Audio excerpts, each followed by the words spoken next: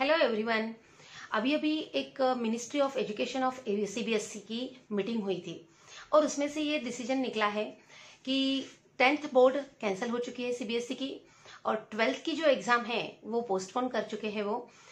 अभी टेंथ की एग्ज़ाम तो कैंसिल हो चुकी है लेकिन अभी उसका रिज़ल्ट का क्या होगा? सो so, इसके लिए एक ऑब्जेक्टिव क्राइटेरिया आने वाला है। बच्चों ये ऑब्जेक्टिव क्राइटेरिया के बारे में कुछ भी क्लियर डिसीज़न नहीं हुआ है। इसीलिए क्राइटेरिया जब भी आएगा मैं आपको बताऊँगी अपने चैनल पे। सो so, बच्चों tenth exam CBSE exam cancel हो चुकी है और ट्वेल्थ पोस्टपोन हो चुकी है। ये आपको ध्यान रखना है। अब ये टेंथ कैंसिल जो हो चुकी है तो आप सब लोग खुश हो चुके होंगे।